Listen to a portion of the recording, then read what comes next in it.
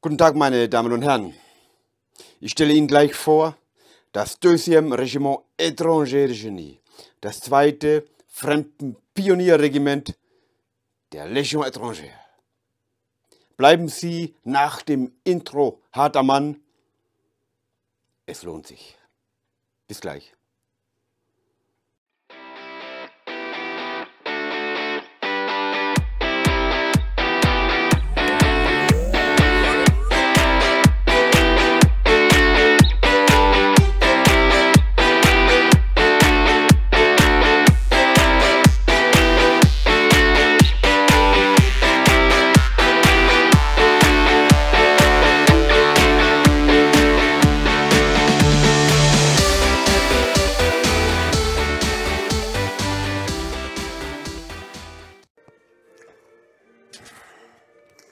Guten Tag, meine Damen und Herren. Es geht jetzt weiter mit den Regimentern der Légion étrangère. Ich habe Ihnen bereits das Premier Regiment étranger de Genie vorgestellt und heute bin ich es mir schuldig, Ihnen das Bruderregiment, das Deuxième Regiment étranger de Genie zu präsentieren. Es ist, wie bereits gesagt, wurde im Jahr 1998 in den Mauern des Quartier d'Anjou beim 4. RÖ, dem Ausbildungsregiment, eine Kompanie des zukünftigen Deuxième Rege auf die Beine gestellt. Es war die Kompanie St. Christol. Diese wurde ein Jahr später, nämlich Ende Frühjahr 1999, nach Djibouti geschickt, um dort die ersten Einsätze zu erfahren. Und währenddessen wurde in Castelnaudary im 4. RÖ die zweite Kompanie auf die Beine gestellt, kreiert. Die beiden Regimenter, insbesondere das Deuxième Rege, sind Erbe von insgesamt 18 Pioniereinheiten der Fremdenlegion, die allesamt im Indochina-Krieg in Einsatz waren. Es handelt sich beim Deuxième Rege insbesondere um Sturmpioniere. Es sind mit anderen Worten, Gebirgsjäger, einsetzbar als reine Gebirgsjäger, doch spezialisiert in bestimmten Domänen. Sturmpioniere haben den Auftrag, die Bewegungen des Feindes unmöglich zu machen und die Bewegungen und die Mobilität der eigenen Truppen zu ermöglichen und zu favorisieren. Insbesondere sind es natürlich direkte kampfunterstützende Kompanien.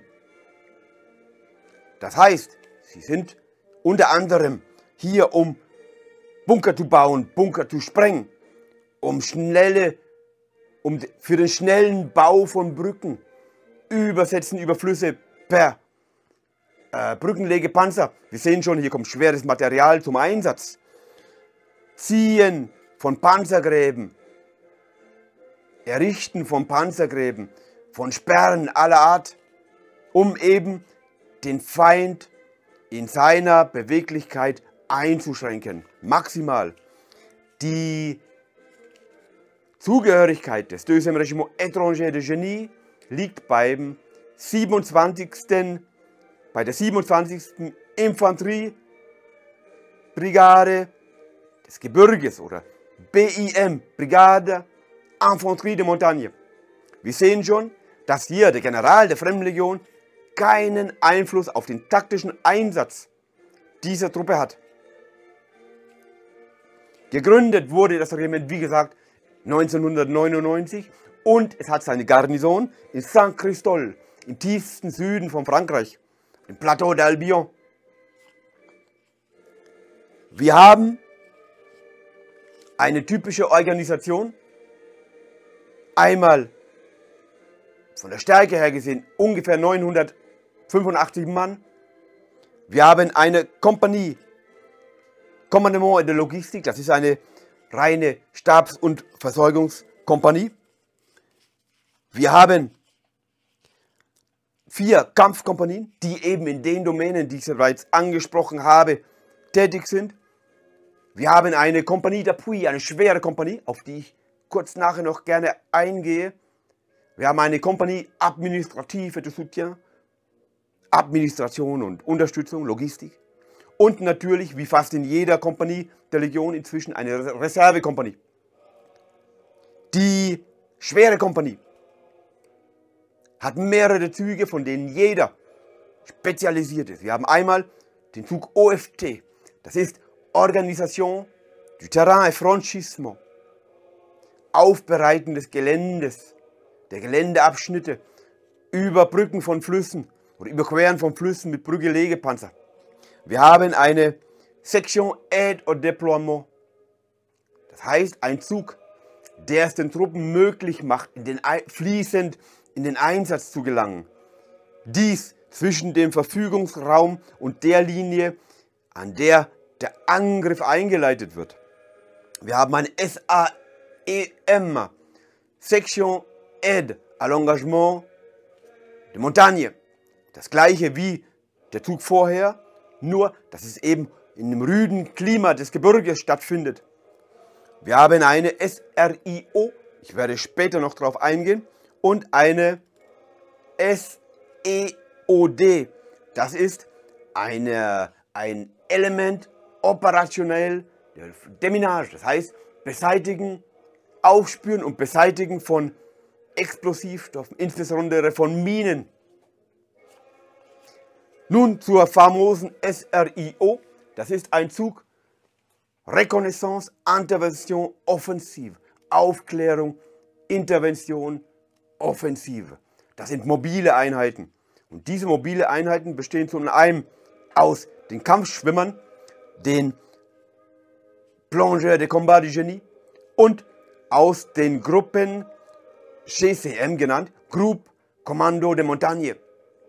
Und die Auswahlverfahren, um in diese beiden Elemente zu kommen, sind sehr hart. Man muss mindestens Korporal sein. Man muss mindestens eine gewisse Anzahl von Jahren Dienst getan haben, mehrere Sprachen sprechen, körperlich topfit sein, intelligent sein. Es findet hier wieder ein, ein Auswahlverfahren statt, ein Test, psychologischer Test. Nur die Besten werden genommen. Werden zehn gebraucht und man hat keinen Kandidaten, der die Bedingungen erfüllt, dann wird keiner genommen. Das macht die professionelle Professionalität dieses Regimentes aus. Trotz seiner jungen Jahre, 1999 gegründet, war das Regiment schon oft im Einsatz.